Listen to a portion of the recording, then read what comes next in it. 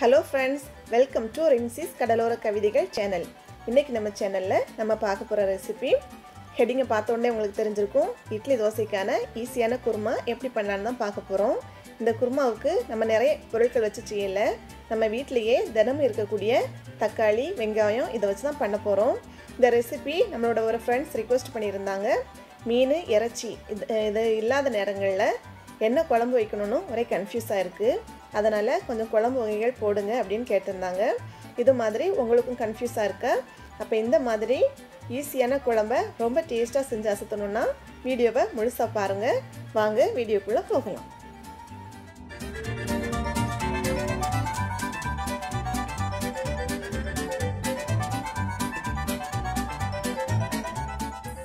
இட்லி தோசைக்கான குருமா இன்னைக்கு பண்ணலாம்?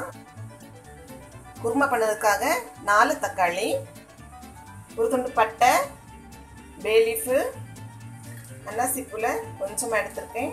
நாலு ஏலக்காய் நாலஞ்சு கிராம்பு. பெரிய சைஸில் ஒரு வெங்காயம் ஒரு நாலஞ்சு பல் பூண்டு கொஞ்சமாக கருவேப்பிலை. பெரிய சைஸில் ஒரு பச்சை மிளகாய். குருமா பண்ணதுக்காக ஒரு கடாய் எடுத்து வைக்கலாம். கடாய் சூடானதும் தேவையான ஆயில் விடலாம். ஆயில் சூடானதும் நம்ம வச்சுருக்கக்கூடிய பட்டை கிராம்பு ஏலக்காய் எல்லாம் போட்டு லைட்டாக வதக்கி விடலாம்.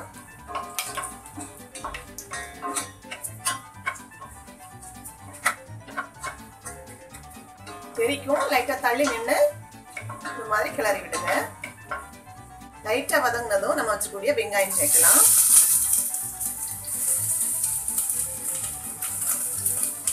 இது கூடவே பூட்டையும் சேர்த்துடலாம். அதுக்கப்புறமா பச்சை மிளகு. சேர்த்து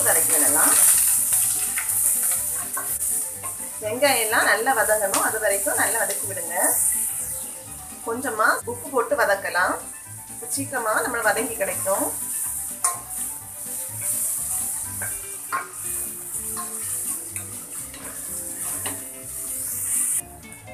வெங்காயம் நல்லா வதங்கி கண்ணாடி பதத்துக்கு வந்திருக்கு இந்த டைம் கொஞ்சமா கறிவேப்பிலை அதுக்கப்புறம் கொஞ்சமா புதினா எடுத்து வச்சிருக்கேன். இது நேரமா காட்டலில். புதினா சேர்த்துக்கோங்க. நல்ல வாசனையா இருக்கும்.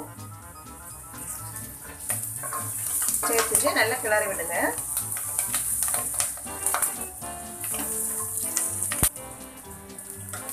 இப்ப வெங்காயம் நல்லா வதங்கிடுச்சு.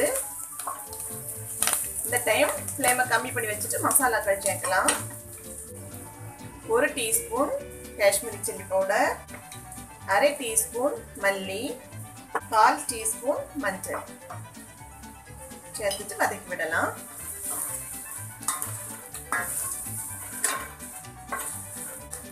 மசாலாக்களோட பச்சை வாசனை போகிறது வரையும் நல்லா வதக்கி விடுங்க.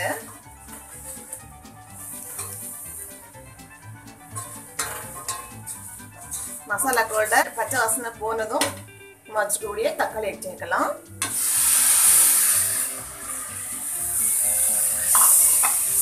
சேர்த்துட்டு நல்லா கிளறி விடலாம்.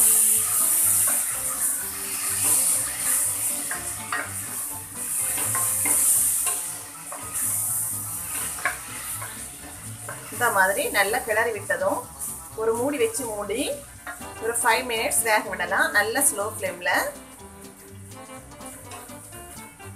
அப்போ தக்காளி நல்லா மசிஞ்சு வரும்.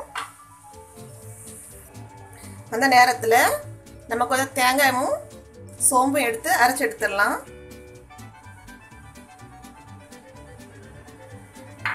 இது கூட கொஞ்சமாக கரம் மசாலா போடலாம்.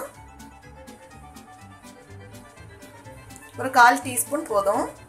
இதை அரைச்சிட்டு வந்துடலாம். பாருங்கள் நான் இந்த மாதிரி அரைச்சி எடுத்துட்டேன். இப்போ இதில் ஒரு டேபிள் ஸ்பூன் பொட்டுக்கடலை போடலாம். எனக்கு இன்றைக்கி பொட்டுக்கடலை மாவாக இருக்குது இதுக்கு முன்னாடி பொடிச்சது. இது கூட கொஞ்சமாக தண்ணி விட்டு திரும்ப நல்லா ஃபைனாக அரைச்சிட்டு வரலாம். பாருங்கள் நான் தட்டு போட்டு மூடி ஃபைவ் மினிட்ஸ் வேக வச்சுருந்தேன். அதை கிளறி விட்டுட்டு திரும்பவும் ஒரு ஃபைவ் மினிட்ஸ் வேக வச்சுருந்தேன். இப்போ தக்காளி வெங்காயம் எல்லாமே நல்ல மசிஞ்சு வந்துருச்சு பாருங்கள் இந்த டைம் நம்ம அரைச்சிட்டு வந்த தேங்காய் பேஸ்ட்டை சேர்த்துடலாம்.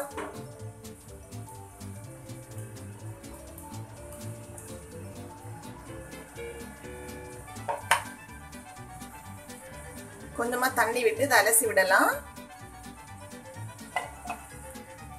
இனி குருமாவுக்கு தேவையான தண்ணி விடலாம். தண்ணி விட்டு வேக வச்சு எடுக்கலாம்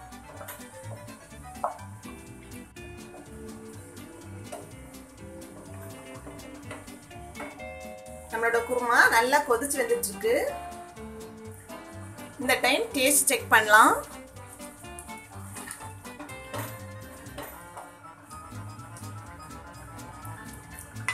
கொஞ்சமா சால்ட் கம்மியா இருக்கு. கொஞ்சம் சால்ட் போடலாம். போட்டுட்டு கிளறி விடுங்க. இப்போ மல்லியில போட்டு இறக்கலாம்.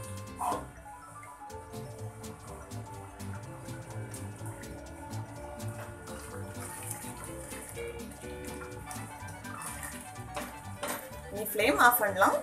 தேங்காய் பேஸ்ட் சேர்த்தோம்ல அதுக்கப்புறம் ஒரு ஃபைவ் மினிட்ஸ் மூடி போட்டு வேக வச்சுருந்தேன். நம்மளோட குருமா நல்லா வத்தி கரெக்டான பதத்துக்கு வந்திருக்கு. இந்த அளவு இருந்தால் போதும். இப்போ நம்ம ஃப்ளேம் ஆஃப் பண்ணிடலாம்.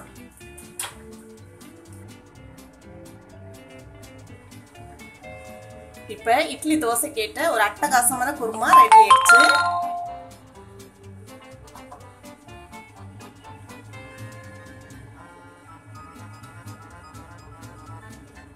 இப்போ சாஃப்டான இட்லியும் நம்ம வச்ச குருமா வச்சு சர்வ் பண்ணலாம்.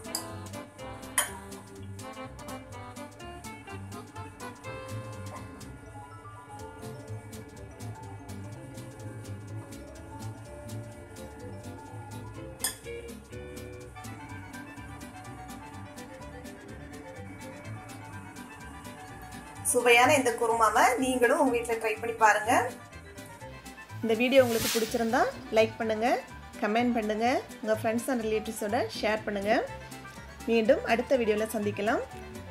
தேங்க்யூ ஃபார் வாட்சிங்